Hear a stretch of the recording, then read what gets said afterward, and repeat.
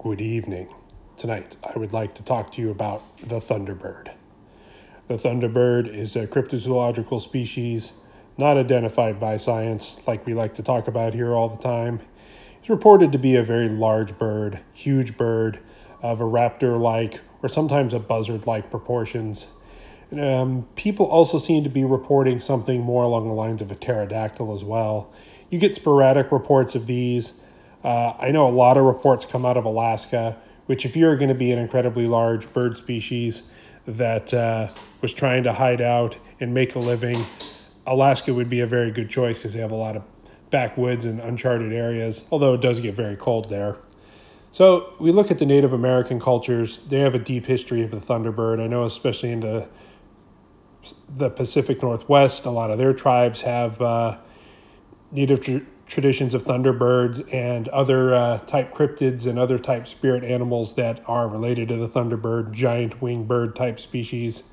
Um, I know in the Southwest they have them too. A lot of tribes have them, and I know outside of the U.S., um, all over the world, a lot of native traditions do talk of some kind of a giant bird like species, either in a god as a spirit animal or as in a real creature. And uh, you, you got to remember that a lot of the native tribes also believe in Bigfoot, and they also, you know, think of mountain lions and cougars and uh, a lot of badgers and a lot of other animals as spirits animals as well. So, scientifically, uh, what you see in the background is a recreation of the magnificent Argentine bird. Lived around 6 million years ago on the plains of Argentina. Its wingspan was around 21 feet. That's a big bird. Its feathers were as long as samurai swords. That's pretty incredible. Now, for me, that's a pretty good representation of about how birds get, because you have to understand, like, humans can only get so big before we have a lot of joint issues. Our frames, the way we're built, can only support so much. And it's the same thing with birds, especially if they're a flighted bird. You can only get so much because weight is the enemy. So let's take a look at a couple bird species out there that are very large. And uh, I'm not saying that these bird species are necessarily what's causing these sightings, but I just think it's a good representation of what's going on. So here we have the wandering albatross and it was one of the largest wingspans I could find um, for a bird. And I think I remember seeing a documentary about them, and they're really huge um, as far as a bird goes. They got about 12 foot wingspan, which is very large, and uh, they're known for flying basically across oceans. That's why they're called the wandering albatross, like through hundreds and hundreds of miles of open water.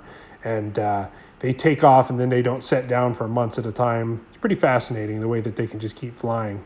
As far as the heaviest birds, I found the Kori bustard. Now I think I remember seeing these at the San Diego Zoo, and they're they're a big bird, about 45 pounds. That's the size of a medium dog, and uh, that's very large, especially for a flighted bird. Uh, so you think, especially how they're built with their neck and their legs, that these guys are actually pretty good flyers, from what I understand. But this is about as heaviest as a bird can get, and still be able to take flight.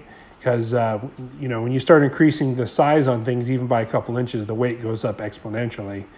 Now some people describe the thunderbird as being more buzzard like with kind of a bald head almost being like a large vulture like creature seen flying around and i don't know if that's just misidentifications because i've seen vultures and buzzards. They get really huge. And if they're flying low and they're at the right angle they can cast a large shadow. Um, also, there are ones that are described as being more hawk or raptor like or eagle like, um, being big enough to carry off full grown people. And uh, there are reports of even, you know, golden eagles and bigger eagles even carrying off small children. So I could see how this could come up through history, and uh, there could be reports of it. Uh, especially if you take something like that big, big bird that we saw there from six million years ago, and think, well, maybe you know they died out a couple hundred thousand years ago when some early man ancestors were around, and maybe pockets of them survived up until very recently. So the other thing that really gets me about this whole thing is some people describe pterodactyls like a pterosaur, a winged dinosaur, a winged serpent, something that doesn't have feathers but has that smooth lizard-like, straight out of Jurassic Park, like what you would see in the movies um, which I find very fascinating. To me, I think this is something else entirely. Now, I know if you look at cryptid reports in South America and in certain parts, people still claim to see dinosaurs of these days, or they find in fresh mud, they find footprints uh, of dinosaurs as well. And it's one of those cryptozoological things where in different parts of the arid deserts and parts of the world, they find they still report seeing dinosaurs, which always really fascinated me. Because you could make a claim for Sasquatch as an undiscovered species being a forest ninja. You could make a claim for maybe a giant hawk or buzzard or bird like species that's, um, you know, staying hidden deep, dark in the woods, way back in there, being some, being, you know, some last holdouts or carryover.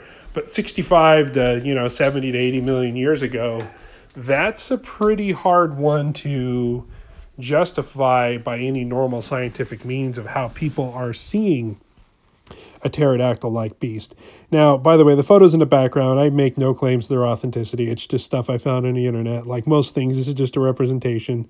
Some people uh, go a little far go fake, fake, fake. It's like, well, yeah, I know. I make no claims to these photos. I think they're actually pretty cool photos, whoever came up with them.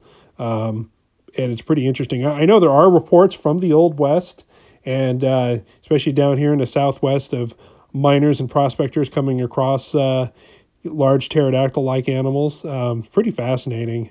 So, where the dinosaur type ones are coming from, uh, maybe there's some kind of uh, residual type thing going on, like with hauntings that have like a residual thing, or there's some kind of a dimensional crossover or portal, or we're seeing something that's maybe not really there, but it's manifesting itself. I have no idea. So, anyway, this is just what I wanted to pass along to the Thunderbirds. There uh, seems to be a more natural type that looks like a big bird. Some look like a buzzard, some look like a raptor, and then there seems to be the more dinosaur type.